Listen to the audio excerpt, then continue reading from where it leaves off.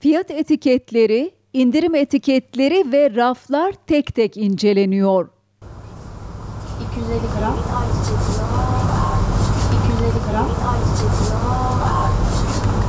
Zam fırsatçıları ve stokçularla mücadele hız kesmeden devam ediyor. 17.2024'te 18'e Ticaret Bakanlığı tarafından başlatılan denetimler 81 ilde sürüyor. Isparta'da da haksız fiyat artışı, etiket ve piyasa gözetimi ve denetimi kapsamında birçok denetimin yapıldığını belirten Ticaret İl Müdürü Mehmet Akif Ülger, Bakanlığımızın bize verdiği yetki çerçevesinde ve şikayet üzerine denetimlerimizi gerçekleştiriyoruz dedi. Malum pandemi e, Covid salgınının başladığı günden bu yana bir e, fiyatlarda artış ve tırmanış e, başladı. Devam etmekte. Biz bununla ilgili e, fiyat artışlarına yönelik denetimler e, yürütüyoruz. E, fiyat etiket denetimlerini yürütüyoruz. İşte indirim satışlar denetimlerini yürütüyoruz. Piyasa gözetim ve denetim kapsamında şikayetli denetimleri yürütüyoruz.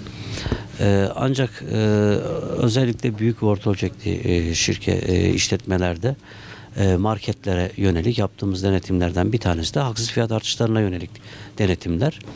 Bu denetimlerde biz fiyat artışlarının sürecini takip ediyoruz. E, ürünlerin e, fiyatlarının e, geriye dönük olarak son 3 aylık, 5 aylık, bazen e, 6 aylık geriye dönerek e, fiyat sirkülasyonunu e, faturalar, giriş çıkış muhasebe kayıtları üzerinden e, faturalarını e, temin ederek e, ve denetim tarihi olan e, güncel fiyatlarla kıyaslayarak bir e, tespit denetimidir aslında bu.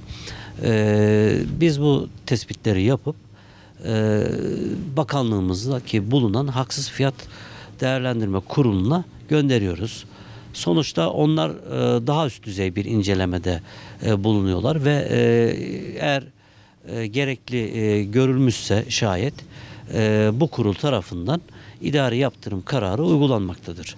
Biz haksız fiyat üzerine idari yaptırım kararı değil sadece bir tespit değerlendirme e, denetimi yürütüyoruz e, fiyat artışlarına yönelik.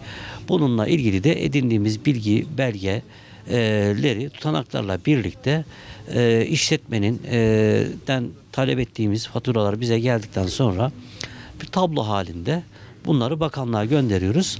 Dediğim gibi bakanlıktaki haksız fiyat değerlendirme kurulu bunları başından sonuna kadar inceliyor. Ee, belki daha üst e, merkezden de denetim gerçekleştiriliyor.